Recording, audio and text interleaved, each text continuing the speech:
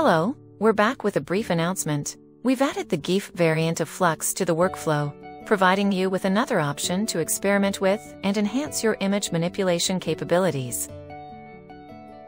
Now you have the option of choosing from three different Flux variants. The original Flux models use Flux Direct, or use Flux checkpoints to generate your image, our personal favorite, and the brand new Flux GGUF, which you can also easily activate. Remember that the advanced sampler must also be activated. The clouds form the word flux. If you want to use flux checkpoints, you'll need to select your desired checkpoint in the light green nodes here. To initially load the original models or the GGUF models, simply press 6. Here, you can choose between the Flux VAE and Flux GGUF and clip models. If that was too quick for you and you'd like a more detailed explanation of the workflow, just check out our 7.5 video. It covers everything in depth. Now, before we go, let me quickly tell you where to find these new nodes and models.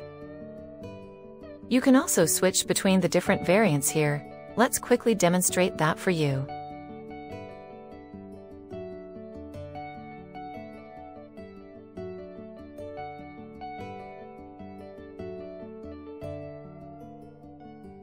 You can easily load the new nodes through the Missing Custom Nodes option in the Manager. Let me show you where you can locate them directly.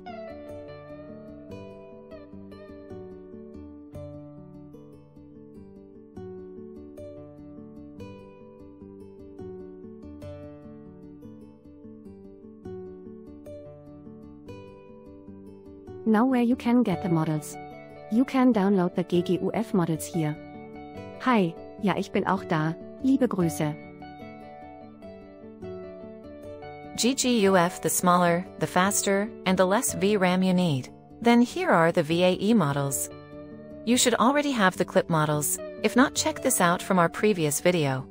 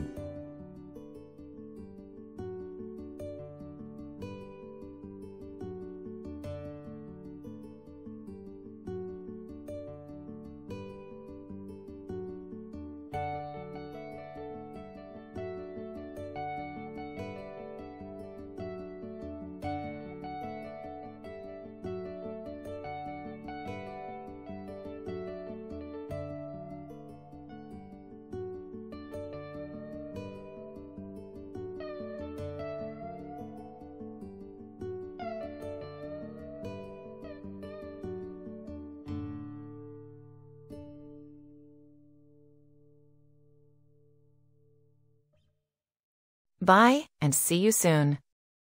Image-to-Image-Mix mit Flux und SDXL. Tschüss.